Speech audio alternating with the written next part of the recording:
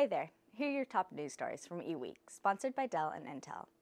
Today's topics include Apple's three new MacBook Pro models, Qualcomm's $47 billion acquisition of NXP Semiconductors, BlackBerry's launch of its new DTEK 60 Android smartphone, and Lenovo and Fujitsu's negotiation regarding a future partnership. Apple unveiled three new redesigned MacBook Pro models on October 27th, bringing key improvements to its popular laptops from thinner and lighter profiles to a new touch bar that replaces the top row of clickable function keys with a touchscreen keyboard strip. The latest MacBooks arrive in three versions, a 15-inch model, with a 6th generation Intel Core i7 quad-core 2.6 GHz processor, 16 gigabytes of 2133 MHz memory, up to 2 terabytes of SSD storage, and the new Touch Bar, a 13-inch model with a choice of 6th generation Intel Core i5 or i7 dual-core processors, 8 gigabytes of 2133 MHz memory, and the new Touch Bar, and a second 13-inch model that comes with a standard row of function keys instead of the touch bar. The touch bar reacts to taps and swipes and works with various applications to give users custom menus and keys that are specific to different applications. Qualcomm is buying rival chipmaker NXP Semiconductors in a $47 billion bid to rapidly expand beyond its core mobile device space and challenge Intel in such important emerging markets as the Internet of Things.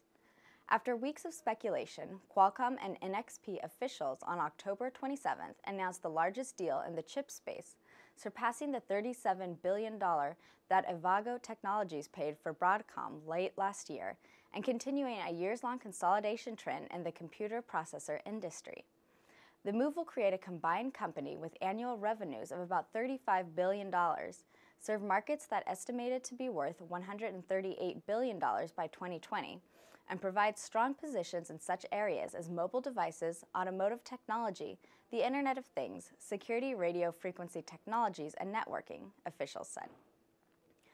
BlackBerry has rolled its latest Android smartphone, the $499 DTEK 60 high security handset, which is the first phone the company has released since it declared in September that it would no longer build and distribute its own phone hardware.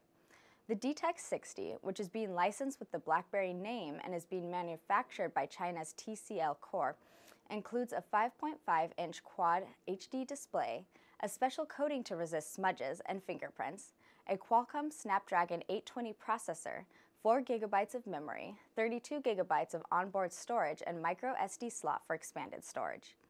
The handset also has a 21 megapixel autofocus rear camera and an 8 megapixel front camera with flash, a fingerprint reader, BlackBerry's intelligent keyboard, and a 3000 mAh rechargeable battery.